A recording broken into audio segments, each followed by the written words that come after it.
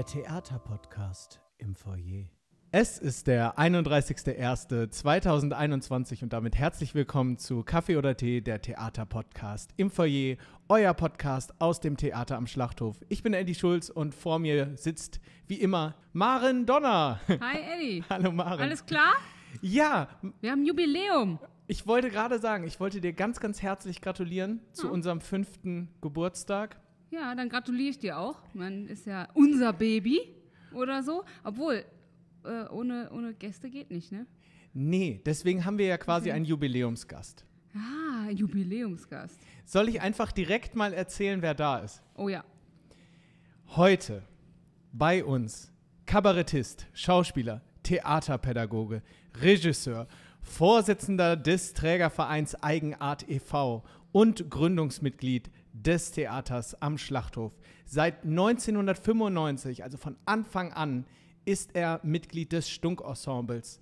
Bis 2004 war er mit Kabarett ohne Ulf unterwegs und seit 2012 kennt man ihn aus der Rathauskantine. Es kann nur einer sein. Bei uns ist heute Jens Spörkmann. Hi Jens. Hallo, grüßt euch und herzlichen Glückwunsch zum Jubiläum. Danke. Dankeschön. Jens, erste Frage, wichtigste Frage. Kaffee oder Tee? Kaffee. Okay. Das ist gut, das kann ich. Okay, Eddie, dein Job, wie immer. Und ich würde sagen, Jens, wir starten äh, mit dem Freundebuch. Das TAS äh, mh, Freundebuch. Jens, uns würde dein voller Name interessieren. Unspektakulär. Jens Spörkmann. Geboren in, Mülheim an der Ruhr. wohnhaft in, Neuss. Berufswunsch als Kind. Gab es verschiedene. Ähm, ich wollte mal Astronaut werden und zwar ernsthaft. Das habe ich sogar relativ lange verfolgt. Aber äh, auch der Archäologe war sehr früh da. Da habe ich ja hinterher sogar ein bisschen dran studiert, bevor ich in diese Kulturfalle geraten bin. Falle, okay. Ähm, meine Traumrolle in Film, TV und Theater. Indiana Jones. Lieblingskünstler.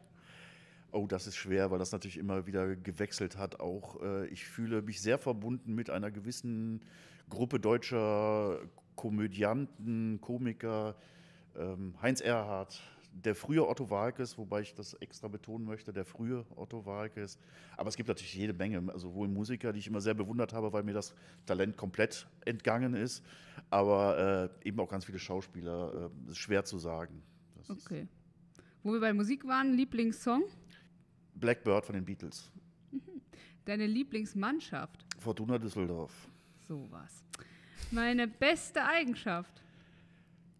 Ach du lieber Himmel. Ich glaube, ich bin relativ spontan und ich kann, glaube ich, ganz lustig sein. Damit macht man mir eine Freude.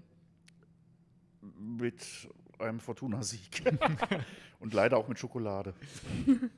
Das mache ich, wenn ich nicht auf der Bühne bin. Alles, was mit Geschichten zu tun hat. Das heißt, hören, lesen, sehen. Okay. Das schätzen meine Kollegen an mir. Ah, meine unglaubliche Sensibilität, meine grandiose Pünktlichkeit. Aber jetzt nichts auszusetzen, ich auch nicht. Ähm, Lieblingswortspiel mit Tass. Ach, das fällt mir gerade nicht ein. Und mein schönster Tass-Moment. Oh, es gab ganz tolle TAS-Momente, es gab ganz viele TAS-Momente, weil es ja mittlerweile dann auch in den äh, weit über 25 Jahren ganz viele gegeben hat. Deswegen ist das sehr, sehr schwer im Nachhinein zu sagen. Aber als wir hier die Feier zum 25-Jährigen hatten und mit den Altvorderen zusammengetroffen sind und einem in der Rückschau erst klar geworden ist, was wir eigentlich in dieser Zeit alles erreicht haben, was wir geschaffen haben, was uns gelungen ist, auch Sachen, die uns vielleicht nicht, nicht so gelungen sind, aber wir sind halt immer noch da und haben irre was geschafft. Deswegen war dieses 25-jährige Jubiläum, dieser Jubiläumsabend schon einer der Highlights, als der Highlights. So. Cool. Ja, sehr schön. Ähm, wir haben ja gerade schon erfahren, dass du wirklich von ganz, ganz Anfang an dabei warst. Und wir wollen mal damit anfangen, dass ich gehört habe, dass die Fensterlädenbeschläge etwas mit dir zu tun haben. Wie kommt das? Ja, das kommt daher, dass ich, ich hatte ja vorhin schon mal erwähnt, also ich habe außer dem Astronauten, das, ich habe es leider nicht ins äh, Weltall geschafft, aber ich habe Archäologie studiert, hatte aber einen langen Weg, bis ich da hingekommen bin. Und äh, weil ich eben so viele Sachen ausprobiert habe, habe ich auch eine Berufsausbildung gemacht. Ich bin gelernter Industriemechaniker, Fachrichtung Betriebstechnik, habe eine Ausbildung beim RWE in Frimmersdorf gemacht. Ich habe also was Richtiges gelernt. Das war immer der Wunsch meiner Großeltern, lernen was Richtiges. Vielleicht kommt daher die Enttäuschung, dass ich da nicht weitergearbeitet habe, aber ist auch egal. Jedenfalls äh, äh, habe ich durchaus Dinge gelernt, die nützlich sind. Und dazu gehörte unter anderem Schweißen. Und das konnten halt damals gerade hier in dieser, schon damals ja so ein bisschen Künstlerbase, nicht allzu viele Leute. Und deswegen wurde mir die Ehre zuteil, die damals äh, ja, Sicherheitsmaßnahmen, die in diesen Stahlläden bestanden, eben zu schweißen. Weil wir natürlich am Anfang hier wirklich alles in Eigenarbeit gemacht haben.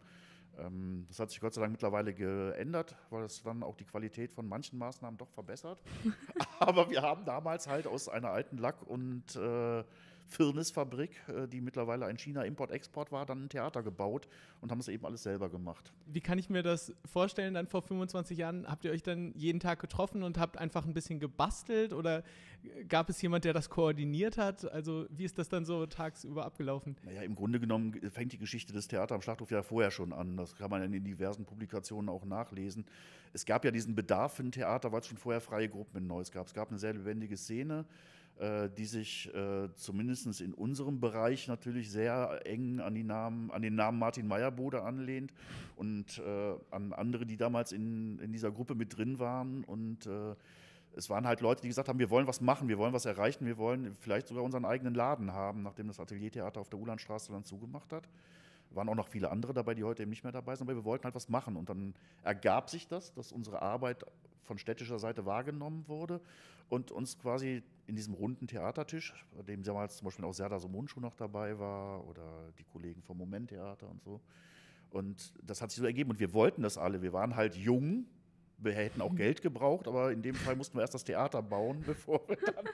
Nein, das war einfach die große Chance zu sagen, wir können hier einen Laden aufmachen, in dem wir selber das Theater machen können, was wir wollen.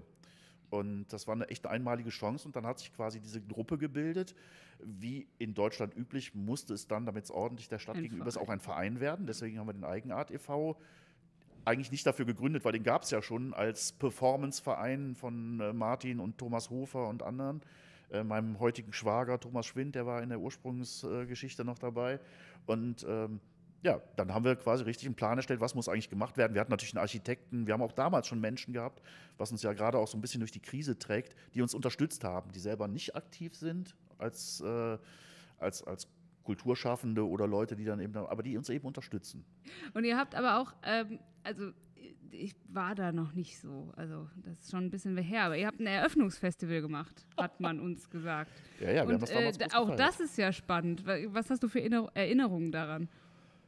Das war natürlich alles total aufregend. In diesem Eröffnungsfestival war ja auch unsere äh, Eröffnungspremiere oder unsere erste Premiere mit Kabarett ohne Ulf zum Beispiel und viele andere Sachen. Es war halt eine total aufregende Zeit, wo total viel passiert ist. Und ich muss dazu sagen, in die ersten Aufführungen hier haben wir ja gar nicht im Rahmen des Eröffnungsfestivals gemacht, sondern wir haben ja schon vorher hier äh, äh, Aufführungen gemacht, weil wir, also es gab die skurrile Situation, dass wir hier geprobt haben äh, auf der Baustelle. Wir haben geackert, haben die Baustellensachen weggelegt und haben dann mit Hilfe von Baustrahlern, weil es so scheiße kalt also mit so Gasheizungen, haben wir dann hinten in den Räumen geprobt. Und dann hatten wir hinten die Halle, die wurde da noch nicht genutzt. Da haben wir das erste Stück Grenzposten gespielt. Und da weiß ich noch, da haben wir die Zuschauer hier abgeholt mit einem offenen Transporter.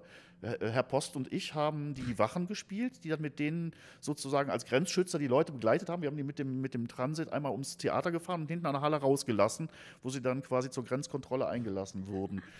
Aber das heißt auch, ähm, weil du jetzt äh, Sven Post erwähnst, weil du Martin Meyer-Bode erwähnst, weil du ja auch von dir selbst sprichst, das sind ja alles Leute, die damals das noch nebenbei gemacht haben, äh, die ja noch andere Berufe hatten, oder wie war das?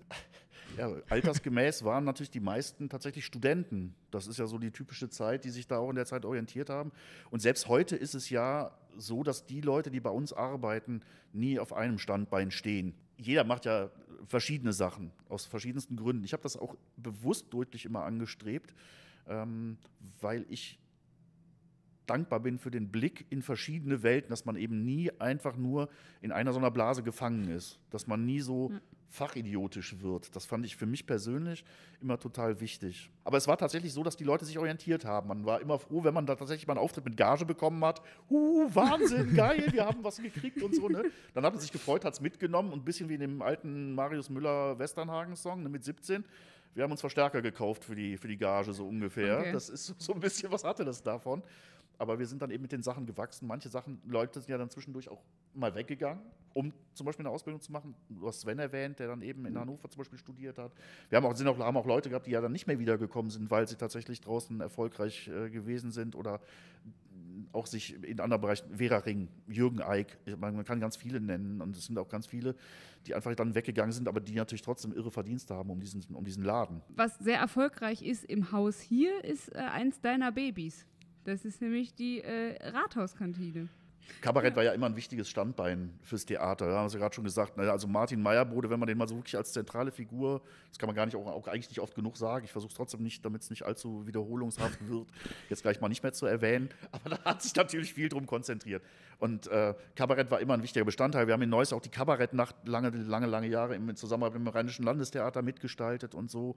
Und von daher war Kabarett immer ein wichtiges Standbein. Und als es um die Neuorientierung des Theaters gibt, nach der Krise, als äh, Reinhard Mlottek, unser langjähriger Geschäftsführer, verstorben ist und wir uns am Theater neu aufstellen mussten, ähm, gab es halt dieses Bestreben, auch Kabarett wieder sozusagen als Haus, mal so eine Hausmarke aufzubauen. Da haben wir uns mit verschiedenen Leuten zusammengesetzt. Und dann war es eben tatsächlich so, dass sich so ein bisschen in Zusammenarbeit mit dem neuen künstlerischen Leiter Markus André herauskristallisiert hat, dass man doch dieses, dieses Format so aufgreifen will, dass man ein Ensemble machen will. Da waren dann Dennis Prang und ähm, Stefanie Otten und ich sind dann schließlich zusammengekommen mit unseren Gästen, wo aber auch die Kabarett- äh, Koryphäen des Theaters ja dann als Gäste auch immer mit dabei gewesen, Sabine Wiegand, also von der Trossi oder Jens Neutag oder so. Und ähm, tatsächlich gab es mal eine ursprüngliche Idee von Herrn Martin Meyerbode, ich weiß nicht, ob ich den schon mal erwähnt habe heute. Wer, wer bitte? sagt mir wer? wer? Wer was? Ja, der hatte mal äh, eine Idee, die sowas ähnliches hatte und wir haben dann das allerdings ein bisschen umgestaltet. Bei ihm war es noch keine Kantine, sondern ein anderer Ort im Rathaus, aber wir haben daraus die Kantine gemacht, haben so ein bisschen die Figuren versucht festzulegen. Ja, und dass das dann natürlich so grandios ankommen würde, auch bei den Leuten hier, hat man natürlich immer ein bisschen gehofft, sich gewünscht, aber eigentlich äh, konnte man damit so nicht rechnen. Aber es ist natürlich cool, dass es so gekommen ist. Ja. Deine Figur da drin in der Rathauskantine, der Ja, Herr Sülheim, habe ich gehört. Ja, der Stadtarchivar von Neuss. Der genau. Stadtarchivar. Okay, was glaubst du, macht diese Fi Figur aus? Für mich ist das so ein bisschen so eine Monk-Figur, äh, ohne die totalen Angstattacken, sage ich jetzt mal. Ja, das ist aber, der ist ja so ein bisschen freakig, der ist in seinem Wissen und so. Man muss dazu sagen, dass wir die Figuren in der, in der Kombination aufgebaut haben. Ja. Also man kann den Sülheim eigentlich nicht denken ohne, äh, ohne den Hausmeister Schwaderath und äh, die Controllerin Strack. Wir hatten Ja. halt wirklich tatsächlich so das Gefühl, wir brauchen einen, der so ein bisschen diese intellektuelle Schiene, ich habe jetzt gerade mit der Hand ein Anführungszeichen gemacht, das konnte man natürlich nicht äh, hören. ähm, Das war ganz klar zu hören, denke ja, das ist gut, da bin ich, da bin ich dann sehr froh. Äh, wir brauchen eine bodenständige und wir brauchen, äh, oder einen bodenständigen, das war dann in dem Fall natürlich äh, unser, unser Hausmeister Jupp Schwaderath, den Dennis Prang gespielt hat. Und wir brauchten eben so diesen Verwaltungsmenschen, der in dieses Setting, der dieses Setting vervollständigt, damit man eben auch in diesem, in diesem Dreieck so miteinander spielen kann. Das sind die Sachen, die ja da so, äh, ja, sag ich mal, in so einem, in so einem Konstrukt harmonieren äh, und äh, das Ensemble dann eben nach vorne bringen. Und Sülheim ist eben in dem Fall der ein bisschen intellektuelle, aber auch ein bisschen versponnene und ein bisschen, vielleicht kann man auch sagen, manchmal auch ein bisschen verklemmte, weil das ist ja der, der mit äh, in hohem Alter noch bei Mama wohnt, beziehungsweise im selben Haus, wo Mama dann irgendwann verstorben ist und so weiter und so fort. Und äh, ja, also der Intellektuelle, der aber eben trotzdem zwischendurch auch immer, ne, der trotzdem Mundart spricht, das ist ja auch wichtig, gerade in Neuss, ne, und der immer weiß, wo es herkommt und der natürlich in der Stadt schon drin steckt, aber dann manchmal ja auch an Grenzen stößt, mit, äh, wenn Intellekt und Tradition aufeinandertreffen, ist das ja nicht immer nur fruchtbar. Und wir haben extra für dich jetzt ein äh, neues kleines Highlight-Spiel entwickelt. Genau. Und Jetzt für mich Jens Spörkmann oder für mich äh, Alfred Sülheim? Haha. Okay. also äh, vorhin gab es ja schon die Aussage von dir, dass äh, eine Eigenschaft von dir Humor ist. Und ähm, Da, die, da, da gehen wir jetzt als Grundlage von aus. wir gehen jetzt davon aus, dass deine Grundlage Humor ist. Einen ganz speziellen Humor, nämlich es geht um Wortwitze. Und deswegen haben wir eine ganz spezielle Kategorie für dich eingeführt. Es folgt der Wortwitz Willi. Ja, Jens, wir haben extra für dich noch ein neues Spiel entwickelt. Die Regeln sind relativ einfach. Sie werden dir gleich quasi wie Schuppen von den Augen fallen, wenn du die erste Frage hörst. Es geht nämlich darum, dass wir uns gegenseitig Fragen stellen und die jeweilige andere äh, Partei bzw. das andere Team muss die Antwort geben. Und wir machen drei Fragen pro Team. Eddie und ich sind ein Team, du bist ein Team und wer am meisten Punkte hat am Ende, hat gewonnen. Eddie, leg los. Was hat jemand, der im Dreieck läuft? Oh, vermutlich Kreislaufbeschwerden. So, dann muss, 1-0. dann, dann, dann muss ich jetzt, oder was? Ja. Okay, ähm, wie ist der Fachausdruck für ein SM-Luftfahrzeug? Ich habe keine Ahnung, ich bin raus. Ich bin auch raus. Fesselballon. Okay. Ja, aber spontan, den habe ich mir gerade ausgedacht. 1-0. Dieser Podcast ist ab zwölf Jahren. Was? Achso, Achso, Okay. okay. Äh, was macht ein Mathematiker beim Skifahren? Keine Ahnung. Er rechnet mit Brüchen. Ah, verdammt, ja. da- Das ist natürlich, ähm, okay. Was ist Orange und guckt durchs Schlüsselloch? Sporange. Immerhin nah dran, Spandarine. Spandarine. Wie nennt man einen Schäfer, der seine Schafe schlägt? Fleischhauer? Ich musste gerade an meinen Lieblingskonservativen Kolumnisten denken. wollte grad deswegen ist sagen, das eingefallen, oder? Woll, keine Ahnung. Ein Mähdrescher. Uh, ja, ganz reizend. Der ist gut. Ach du lieber Himmel. Ja, den kennen natürlich viele trotzdem schon, aber was liegt äh, am Strand und spricht undeutlich? Eine Muschel. Eine Nuschel. Eine Muschel? Eine Nuschel. Eddie. Ja, in, in dem Fall würde ich sagen, das war Miesmuschel. Eddie Schulz hat dieses Spiel auf jeden Fall verstanden. Was habe ich jetzt gewonnen? Äh, den Schal. Ja, das wird einen Genau, schalen den Beigeschmack Wortwitz, hinterlassen. Willi. Den Wortwitz, Willi, hast du gewonnen. Ja, aber war doch das erste erfolgreiche Spiel am heutigen äh, 31. und so. Wir wollen jetzt natürlich gerne über die Theaterpädagogik sprechen mit dir. Wir wissen ja, dass gerade du äh, mit Kindern und Jugendlichen echt äh, sehr gut arbeiten kannst und tust das ja auch im Rahmen der Ferienaktion bzw. der Sommeraktion hier. Erzähl uns doch mal ganz kurz ein bisschen was über die Sommeraktion, über den, den Stellenwert und vielleicht auch so, was da genau passiert. Im Normalbetrieb haben wir während der Sommerferien in der Regel in den ersten zwei Wochen jeweils eine Woche lang eine Aktion mit Kindern von morgens bis abends, kompletten Tag. Wir haben das altersmäßig ein bisschen über, äh, unterteilt, dass wir in der ersten Woche immer mit Grundschulkindern arbeiten, also ungefähr grob altersmäßig sechs bis zehn und in der zweiten äh, Woche von 10 bis 14. Und dann machen wir es so, dass wir innerhalb der Gruppen, wir haben in der Regel 30, um die 30 Kinder und bilden dann meistens drei Gruppen, in denen wir dann zu dem Thema Szenen erarbeiten, die wir in der Abschlusspräsentation am Ende der Woche dann einem geneigten Publikum, was in der Regel aus Eltern, Großeltern, Geschwistern und so weiter besteht.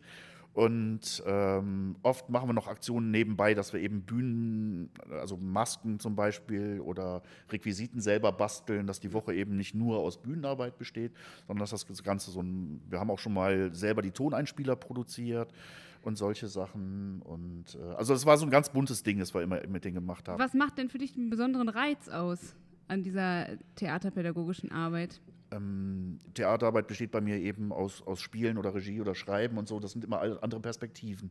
Und das ist für mich persönlich total wichtig, die Perspektive und nicht nur äh, äh, zu haben, also die Perspektiven immer, immer zu wechseln und mit verschiedenen Perspektiven zu tun haben. Und Kinder sehen die Welt anders, als die Jugendliche sehen, als die Erwachsene sehen. Und wenn du mit denen arbeitest und das ernst nimmst, was die sagen und so, und wenn du nicht versuchst, ah, da kommen jetzt Kinder und denen zeige ich jetzt mal, wo es lang geht. Weißt du, so kannst ja auch, ja, so arbeiten ja Ja, auch. Leute, sowohl in der Schule als auch, auch äh, in bestimmten anderen pädagogischen Bereichen. Das, das war aber auch nie mein Ansatz, sondern ich will gucken, was haben die und denen die Möglichkeiten eröffnen, zu sagen, wie können wir unsere Sachen künstlerisch ausdrücken, unsere, unsere Bedürfnisse, wie können wir auch einfach Spaß haben, indem wir in Rollenspiele reingehen, jetzt äh, gerade bei, bei den Kindern, äh, bei den jüngeren Kindern, die so äh, noch ihrem Spieltrieb, sage ich jetzt einfach mal, folgen. Und äh, man kann irrsinnig viel lernen von denen, wenn man, wenn man da aufmerksam auf denen zuhört, wie die eben die Welt sehen, wie die Sachen betrachten.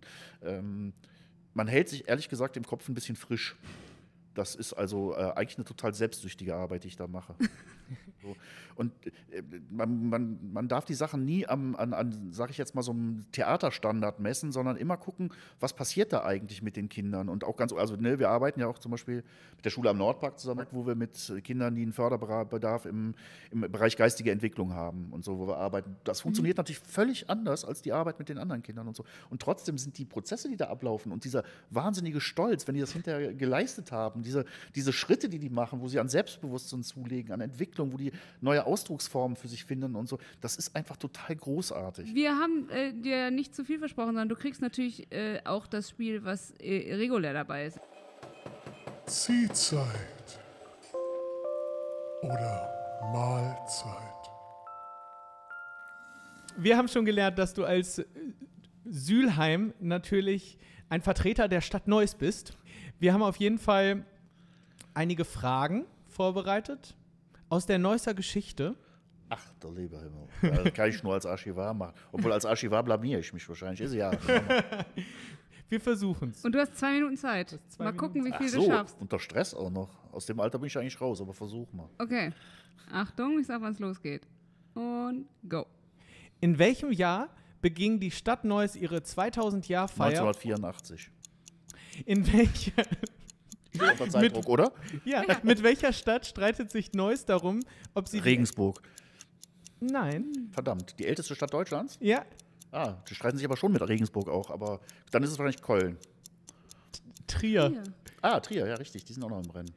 Welches ist das älteste erhaltene Neusser Kaufmanns- und Bürgerhaus, erbaut im Stil der niederrheinischen Backsteinrenaissance? Guck an. Das ist das neben dem, neben dem Dom, glaube ich. Oder ist es Schwattepät? Nee, Richtig, Schwattepet, sehr Das, schön. ja, doch.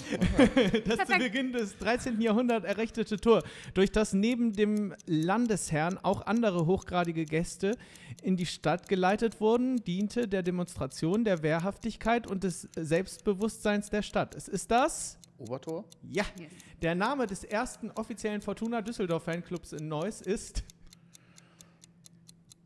Keine Ahnung. Äh, ich würde mal das lateinische Wort für Neuss nehmen Novesia? und dann das Gründungsjahr von Fortuna Düsseldorf. Ach, guck an. Novesia 1895. Äh, völlig richtig. Das Habe ich Quirinus erwähnt, Münster. dass 1895 auch der, das Gründungsdatum von Oldham Athletic ist in England? Nee. Ja, ist egal, machen wir weiter. Das Quirinus Münster wurde in den Jahren zwischen 1209 und 1230 erbaut und am 6. Oktober 2009 von wem in den Stand einer äh, Basilika Minor erhoben? Willst du jetzt den Papstnamen wissen oder was? Ja. Ach du lieber Himmel. Sag nochmal das Datum. Sind die zwei Minuten nicht bald rum? 6. Oktober 2009. Was? Sechs- 2009? Waren wir da schon Papst? Ich weiß es nicht. Ratzinger, also äh, Benedikt, sag ich. Richtig. Ich dachte, du fragst nach dem Ba- Baumeister. Ich, hab einfach schon, ich war schon zu schnell unterwegs gedanklich. Hätte abwarten müssen. Das ist ja. Perfekt. Wir, sechs Fragen haben wir geschafft, würde ich sagen. Also, äh, top. Neues Experte. Äh, wir haben noch die ausstehende Frage, die äh, wir allen angedeihen, die hier bei uns zu Gast sind, nämlich wenn wir äh, dir die Aufgabe äh, geben würden, einen Merchandise-Artikel fürs TAS, eine Tasse zu gestalten, wie sähe die aus? Eine Tasttasse, wie die Ja. aussähe? Oh, das ist eine interessante Frage. Ähm, ich mag sehr unseren, eigentlich uns ja die ganze Zeit schon äh, durch die Jahre begleitenden, äh, unseren Tassstempel oder auch Krone, wie sie genannt wird, die auch auf, unseren allen, auf allen unseren Plakaten drauf ist. Ich weiß, dass es durchaus auch Leute gibt, die sich daran schon irgendwie satt gesehen haben oder denken, das müsste ein bisschen renoviert werden oder so. Aber ich mag diesen Tassstempel, deswegen wäre das mein Aufdruck auf der Tasse.